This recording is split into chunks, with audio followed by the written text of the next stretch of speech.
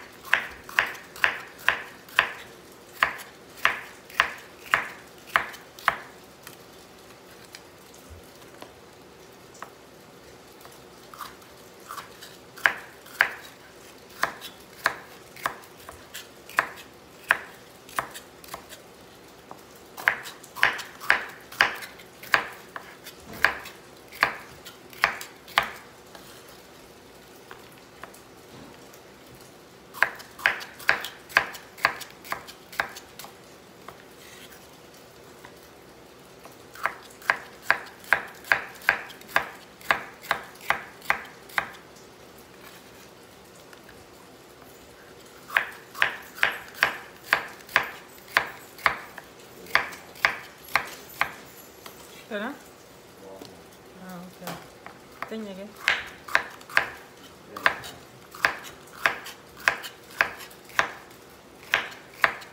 បងឯងយក propane នឹងទៅដាក់ផងបងអស់ propane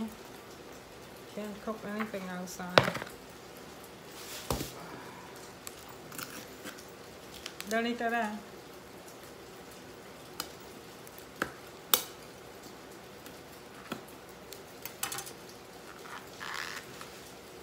okay រួចហើយយើងរោយអំបិលអំបិលនេះយើងរោយរួចហើយយើង toss it a little bit because this is a fresh bitter melon it had a lot of bitter smell so we wanted to um, marinate it with uh, salt and then wash it out ម្រះនេះវាមានជាតិល្វីងខ្លាំងអញ្ចឹងខ្ញុំលែងអំបិល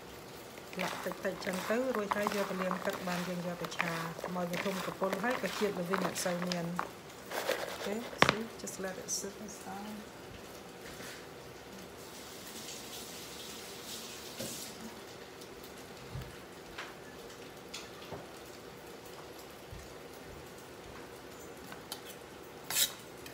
ហើយយើងចាប់ផ្ដើមហាន់សាច់ជ្រូក just need a little bit សាច់ជ្រូកជ្រូកយកសាច់ជ្រូក3ជាន់អូខេយកមកដុំទូចប៉ុណ្ណេះបានហើយ